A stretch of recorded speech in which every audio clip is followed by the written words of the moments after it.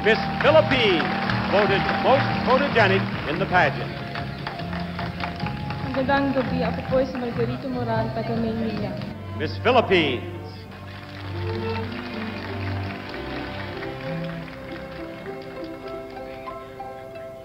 The fourth name on the list is Miss Philippines.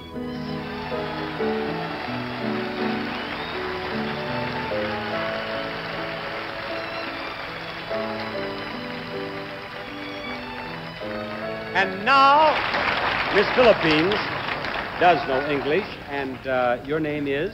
Margarita Moran. And what would you like to do, Margarita? Later, Yes, as a job. uh, I'd like to be a banker. A banker? Why a banker? Well, uh, first, I'd like to follow my father's footsteps because he's a banker. And uh, besides that, I'm taking up a course in business administration, which is courses in uh, banking and finance. And I like counting money. You like counting money? What would you do with the $10,000 if you win in the Miss Universe pageant? Uh, I'd invest it. Um, probably I'll build up a hotel.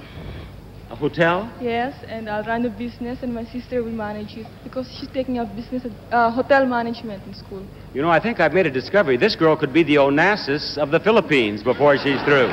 Thank you very much. Miss Philippines. Maria Margarita Moran. She has dark brown hair and dark brown eyes.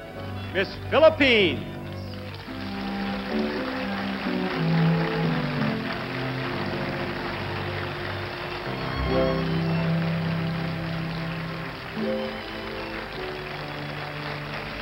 Miss Philippines.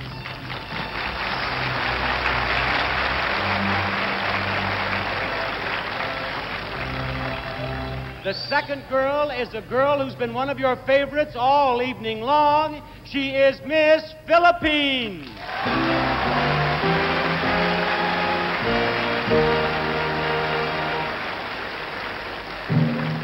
Now, Miss Philippines, this is the remaining question. This question is for you.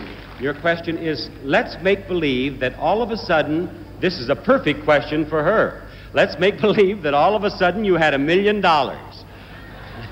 What's the first thing you would buy and why would you buy it? A house and lot. Because it's the most expensive thing and I can't afford it. So if I had a million bucks, I'll buy a house and lot and live by myself. and other people, of course. Thank you very much, Miss Philippines. The first runner up is Miss USA. Miss Philippines is Miss Universe.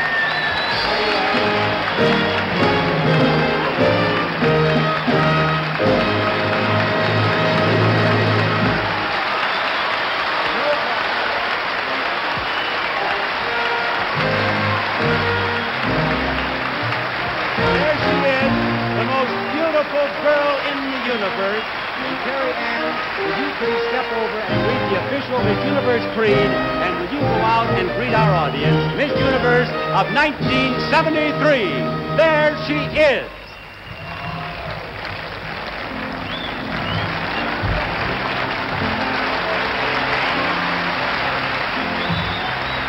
We, the young women of the universe, believe people everywhere are seeking tolerance, and mutual understanding. We pledge to spread this message in every way we can, wherever we go.